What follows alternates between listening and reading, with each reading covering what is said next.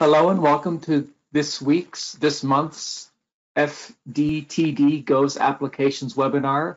We're very happy today to have Derek Snyder from the Forecast office in Paducah talking about how their office has incorporated GOES products into some warning decisions um, related to hydrology. Next slide, please.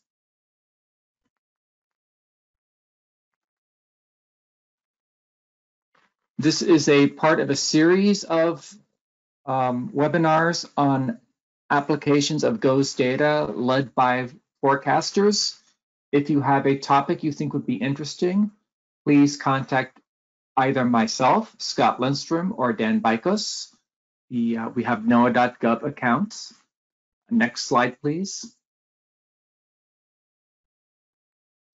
And uh, just some protocol uh, Derek will talk for about 20 minutes.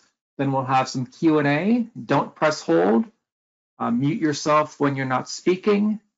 Um, and take it away, Derek. Thank you. All right. Thanks, Scott. Um, like uh, my name is Derek Snyder, and I'm a forecaster here at WFO Paducah. And I feel like this is a very uh, appropriate talk, given the uh, weather conditions across a lot of the country today in the in the Mid Atlantic, and even here at Paducah, I'll probably be issuing some flash flood warnings uh, once I get done with this talk uh, on my evening shift. So. Um, I just thought I would, I wanted to kind of walk through a little bit, almost like I'm a little bit of a day in the life of how our office and how some of our forecast staff here have started incorporating various GOES applications into the hydrologic warning uh, process, especially for short fuse warnings. So uh, I'll just kind of go through, i will start with a bit of a brief overview uh, of a day. This was uh, not too long ago, it was only uh, on July 1st. And this is a, a, kind of an environment that uh, you see a lot, you know, we're in the lower Ohio Valley, um, especially in, once you get into the summertime, you get these sort of very, uh, very unstable, very uh, days with a lot of moisture in the atmosphere, but not a lot of in the way of dynamics to support the convection. Um, and this is uh, pretty typical for a large part of the country, especially in the summertime. So I thought I'd just start with the 18Z surface analysis from July 1st. And what you see, and, and I'll just kind of highlight our region here, we're in far western Kentucky where the Ohio and Mississippi rivers come together. And we kind of have this area of uh, convection going ongoing over the mid Missouri Valley, kind of associated with the stationary boundary. And then you have kind of convection propagating along this outflow boundary that had been uh, kind of continuing that started late uh, the night before and was kind of uh, working its way south and east uh, from the Central Plains. And uh, so the environment is pretty typical from what we see around here uh, in midsummer. So this is the 12Z sounding from Nashville is the closest one that we have to our forecast area. And you can see it's uh, the, this area was kind of worked over from precipitation that occurred uh, in the evening before. So you have you know very weak lapse rates, a little bit of uh, instability, uh, almost very little to no shear the to speak of. but you do see some hints of some skinny cape, which would be favorable for heavy rain production later in the day. And indeed, by about 18Z, uh, this is the, from the SPC Mesoanalysis website, so it's based on the RAP uh, analysis. You kind of see over Western Kentucky by the time we get into the afternoon, you do have a pretty nice corridor of uh, uh two to 3,000 mixed layer CAPE values that have developed uh, kind of ahead of this complex that's working its way into the area. So it, the environment's becoming increasingly unstable, although there's not much in the way of shear to speak of. So any sort of uh, propagations kind of and shear uh, for storm uh, uh, support and intensification is kind of uh, being created on more of a mesoscale process instead of something more synoptically forced. And you have precipitable water, value, water values that are very uh, near climatological maxima for this time of year, uh, 2 to 2.1 inches. Um, this can really uh, really enhance the rainfall rates, create warm rain processes, and uh, lead to some very intense rainfall uh, in a short period of time. Uh, so that's sort of you know the environment that you're you're dealing with, and you take all this information and uh, you you have this uh, this is the day one Weather Prediction Center excessive rainfall outlook. You're seeing these messages more and more by forecast offices. So you have a slight risk uh, basically along the Mississippi River into western Kentucky and then down to the Tennessee Valley. So our mindset is um, we treat these slight risks for uh, excessive rainfall in a lot of the same ways that we would treat a uh, SPC slight risk or or another uh, or a moderate risk. You know, uh, we we definitely uh, gear our staffing in our office uh, to handle these sorts of situations because they can get just as busy as severe weather events. So this is this is this is a this is what our mindset was in our office, and we definitely had extra people available and extra people uh, remotely uh, nowadays to, to help uh, keep an eye on things. Um, you know, we, we do a lot of decision support right now uh, related to COVID-19. So, you know, this really uh, increases the workload um, for our office. Um, especially uh, when you have the potential for you know your regular severe duties and then your decision support services on top of it. So with that in mind, uh, at you know the start of the day, we had a flash flood watch in effect for most of our forecast area. And, and this is, and I'm kind of hovering over, this is Western Kentucky here. This county that's going to get affected, that I'll talk about in a little bit, it's, it's called Calloway County. It's the home of Murray, Kentucky. You might be familiar with Murray State University. It's located here. Our office is located here in Paducah. And then you have Southeast Missouri and uh, Southern Illinois. So um, I'll kind of give you a regional radar loop to start things off with, with from 17 to 21Z. You can see this line of storms propagating to the south and east, and it seems to be moving at a pretty good clip. And you might ask yourself, well, how does this end in a you know uh, significant hydrologic event? Um, and uh, and using the GOES app, GOES data, we can kind of investigate that pretty thoroughly and uh, kind of show why what happened and and what uh, led to that sort of intensification and and and rainfall rates that caused flash flooding. So uh, this is a uh, loop of uh, from the uh, invisible or visible satellite out of this complex from 1939 uh, to 21Z uh, that day. And what you can see here is the line, the complex of storms propagating to the south and east. You can actually see quite a bit of clearing ahead of this line. And so, you know, uh, I was working this day. I wasn't the hydrologic warning forecaster, but I was looking at radar, and it became very apparent that the uh, environment ahead of this line was becoming increasingly unstable. And you could see the kind of uh, sort of bubbling cumulus development ahead of the line. And uh, I can uh, flip over to the uh, here's the five minute band loop from 18 to 20, 24Z that same day. And uh, when I go to the one minute imagery, you're really going to be able to see the sort of bubbling enhancement of the convection as it goes forward. And you can see a little bit of hints of these uh, very cold cloud tops bubbling up and then dissipating. And then um, flipping ahead to the one minute imagery here. And um, some reason, I think the uh, I think the animation might be a little bit too much much for the PowerPoint. Um, it's not catching everything, unfortunately. But um, on the one minute anim animation, you can really see these uh, bubbling um, cumulus towers go up and down. And right over here where I'm hovering my mouse, uh, that um, uh, is Calloway County, Murray, Kentucky, where the flash flood event occurred. You can really see sort of a concentration of these overshooting tops and uh, rapidly cooling uh, cloud tops and enhanced rain, that led to enhanced rainfall rates. And um, here's a 30 minute uh, from 19 to 1930Z, kind of rocking back and forth. It kind of gives you a really good look at uh, some of the development of these overshooting tops and uh, that you see, especially as this line propagates further into uh, far southeast Missouri and into western Kentucky.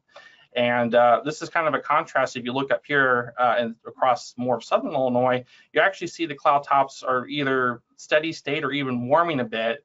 And so it, this this animation kind of, you know, as a warning forecaster, I was drawn to this area because of the over development of the overshooting tops and the and then the apparent warming of the cloud tops further north, which was kind of the area I was focusing on at first. And seeing these overshooting tops really led me to focus in on this more southerly region that was apparently uh, really starting to feel the uh, higher amounts of instability and from the uh, destabilization that occurred earlier in the day. So this was a really useful application of the one minute imagery and uh, this rocking imagery um, really. And this and just to restate, you know, a lot of times you use you see long loops of satellite imagery. But a lot of times in warning processes, maybe you I might only have a few images up and I'm looping them back and forth looking for short-term trends. And this is a really good uh, example of the, the application of that. So let's switch over to the uh, GLM flashes uh, from the 18 to 22 UTC uh, period. And I'll let this loop while I uh, talk over it.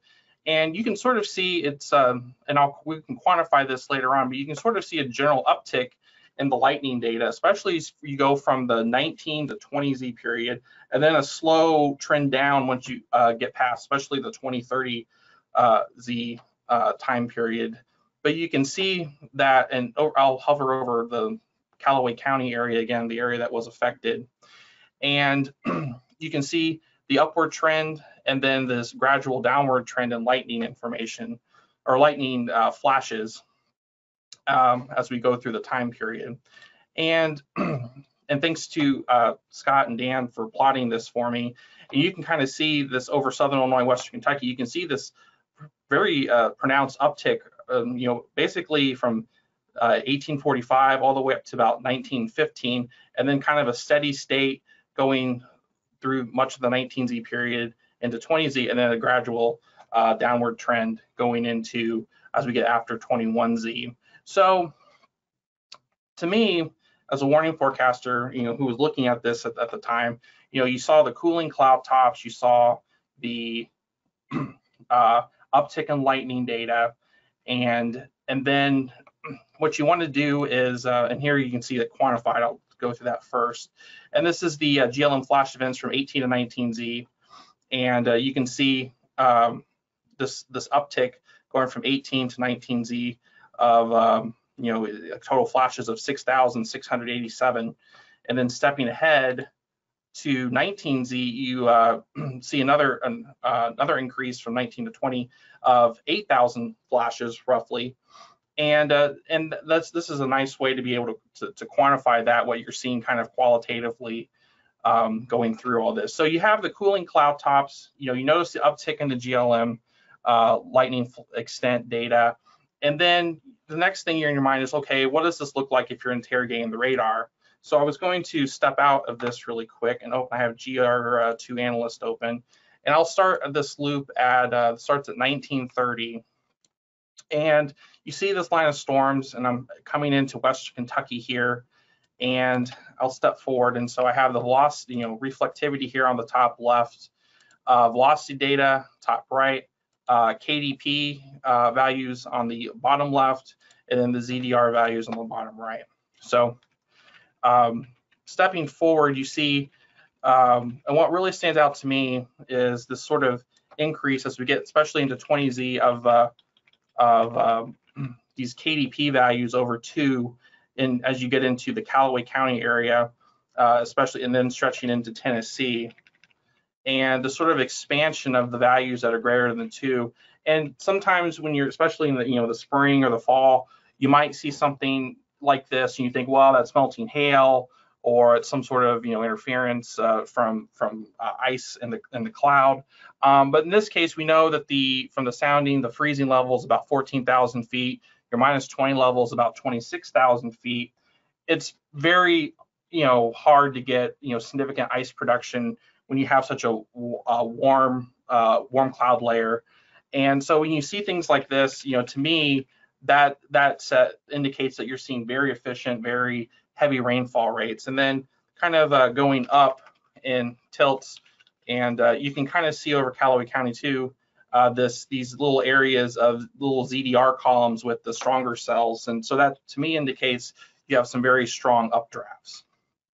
So I'll just uh, go back to my PowerPoint here. So, um, so what you have here, and just kind of putting it all together, um, you know, the warning decision process, you kind of have your pre-event meso-analysis, you know, you get yourself spun up with the environment.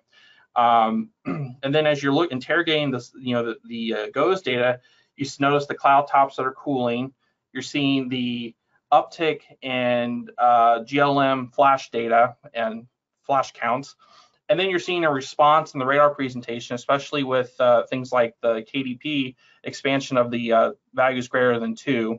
And so you put all that together, and that kind of gives you a bunch of confidence in your warning decision. So going forward, so we taking all this data. Once we saw this, these heavy rain events uh, or heavy rain developing with this, the cool cloud tops, the GLM lightning um, uh, data increasing, um, that led us to be very pretty confident as an office to issue a flash flood warning uh, as going into 2041 UTC on July 1st.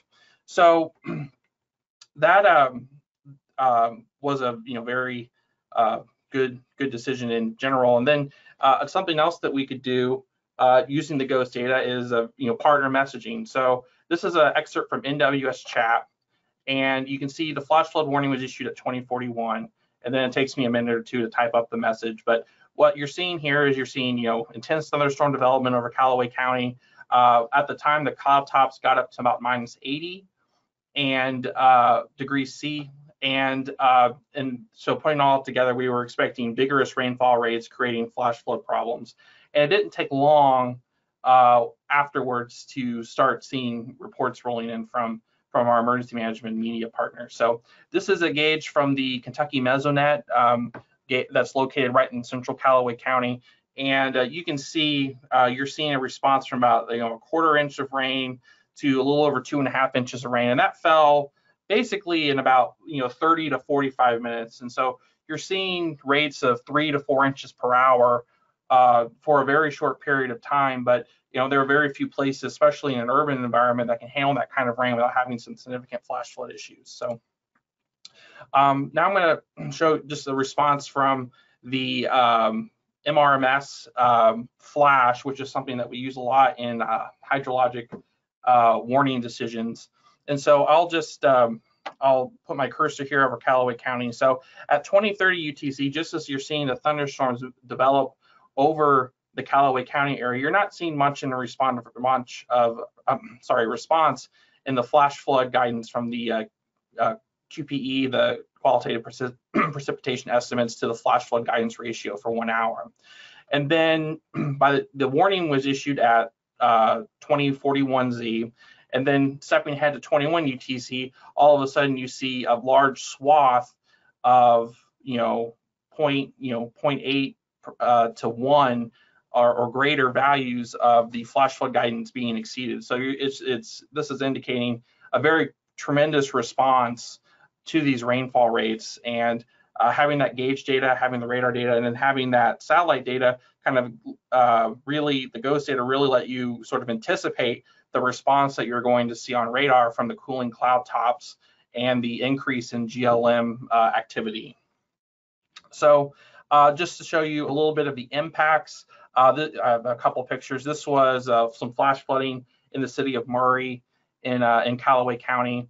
Um, so you see, you know, quite a bit of water on the street with cars, um, probably taking on some water damage. Um, there were uh, two or three water rescues that we're aware of. This is one of them.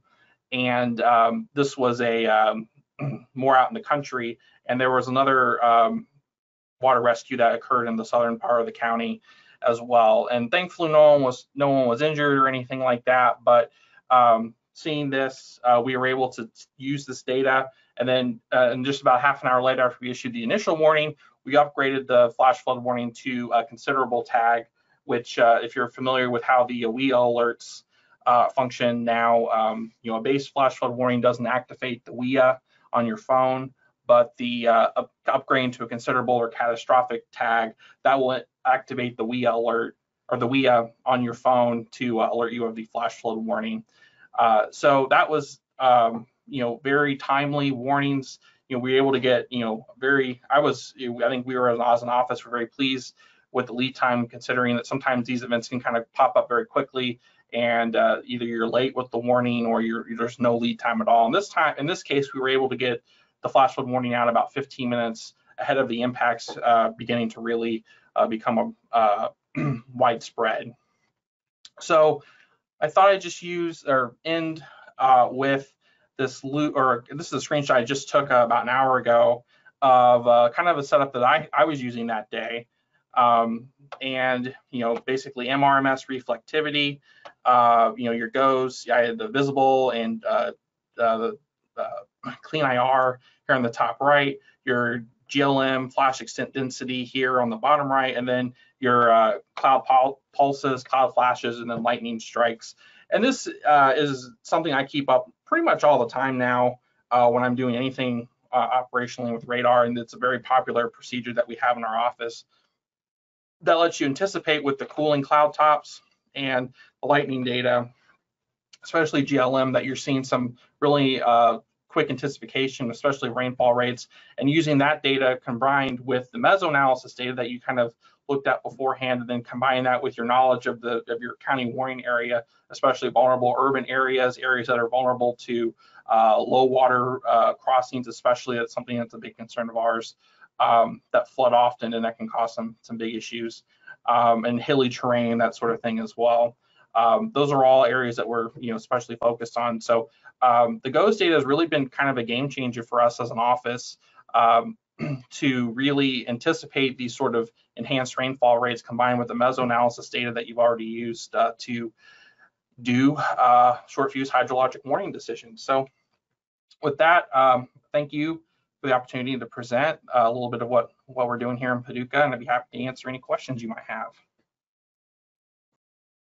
Thank you very much, Derek. Um, I just wanted to point out in the chat, I have noted that the PowerPoint that you are showing will be available after this talk, so people can download that and they'll see the full res animations because sometimes with like home internet, it's very hard to, for me, for example, it's very hard to see a good animation of one minute imagery. Um, but if anyone has any questions, um, I see one in the chat. Were you able to identify any boundaries in the pre-storm environment that would have slowed or focused the convection? Do you remember? Uh, not not particularly at the time.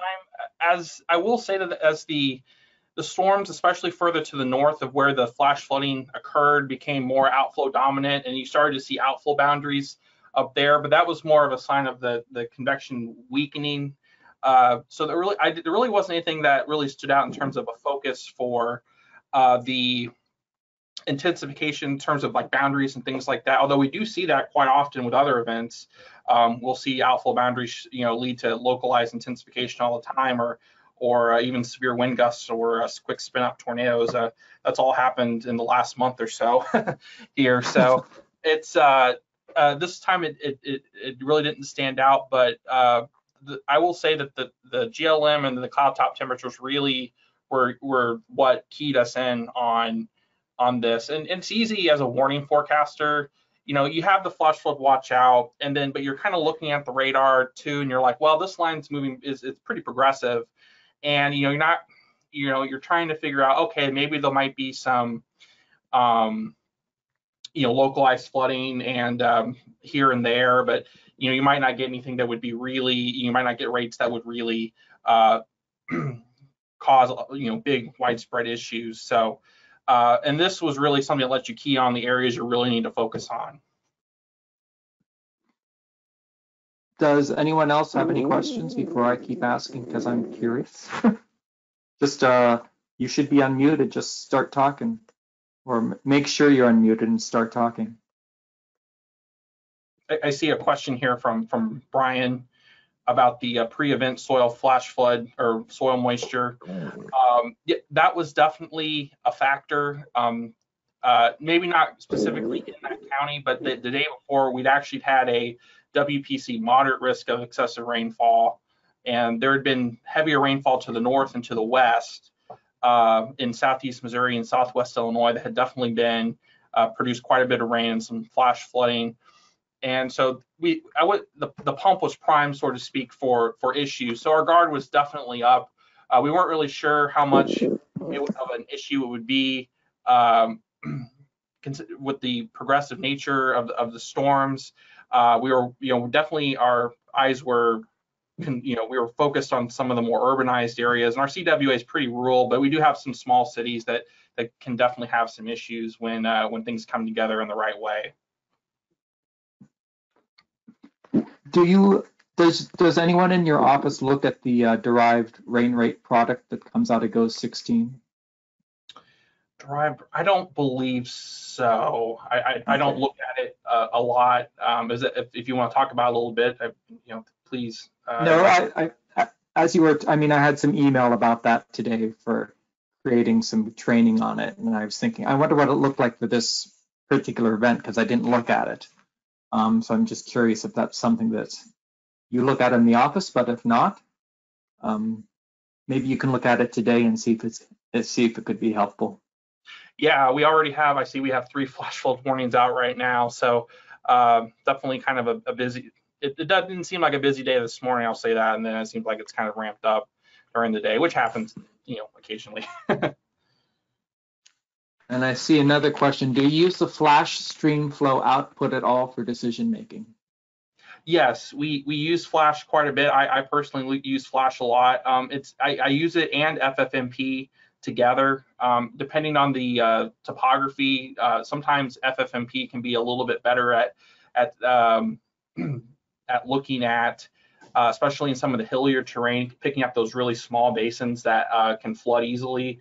Um, in the Ozark areas in our, of our far western part of our county warning area, that can be um, that can be particularly useful, both uh, the Flash uh, MR or the Flash and the FFMP uh, streamflow uh, information. But yes, uh, I do have it up. One limitation to the the, the streamflow data is uh, it can sometimes it, it's kind of slow to update. It's every 10 minutes, and sometimes you're looking at kind of a snapshot, you know, something maybe 10 or 15 minutes ago, which may not be a huge uh, issue uh, sometimes, but with, during the a situation like the one we went through, where you basically went from, you know, you have three, you know, three to four inch per hour rainfall rates, that can it can kind of be slow to catch up.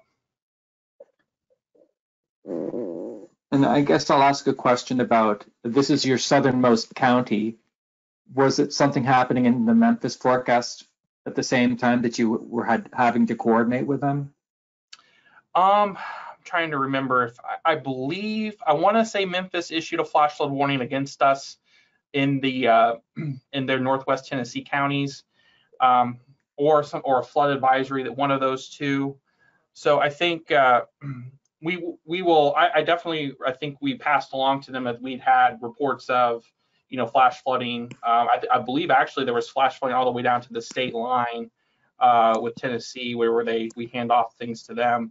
So uh, I'm not exactly sure what product they issued, but we were I, I do remember collaborating with them um, about the impacts that we were seeing from this. Are there any other, if anyone else listening in wants to ask a question, unmute yourself and ask the question now, please.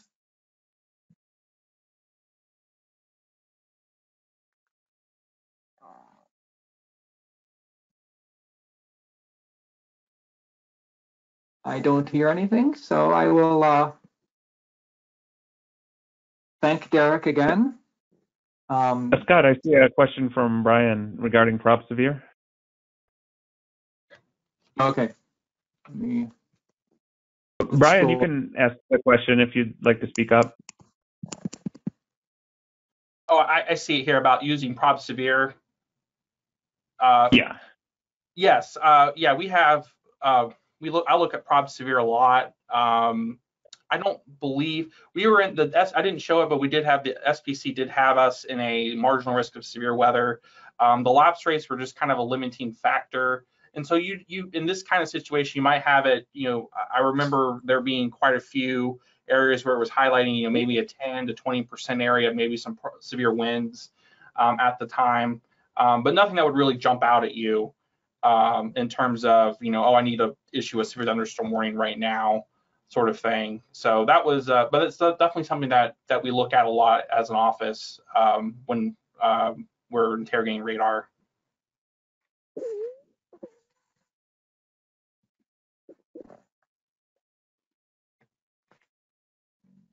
Okay, if there aren't any other questions, I see that it's 1:30, so we spent a half hour with Derek. Derek, thank you very much. Oh, Um, you're welcome. Another FDTD webinar is in the works, and you'll see uh, email about that at some point in the future. Thank you.